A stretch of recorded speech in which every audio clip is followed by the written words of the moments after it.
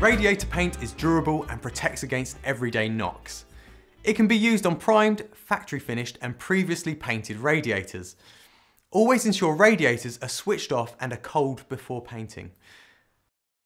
Lightly sand the surface with 120 grade sandpaper and remove dust with a cloth. Stir the paint well before and during use. Apply the first coat evenly using a synthetic brush, finishing the brush strokes in a vertical direction. Two coats are normally needed, but allow the first coat to dry before applying the second coat. Check the paint manufacturer's guidance for drying times.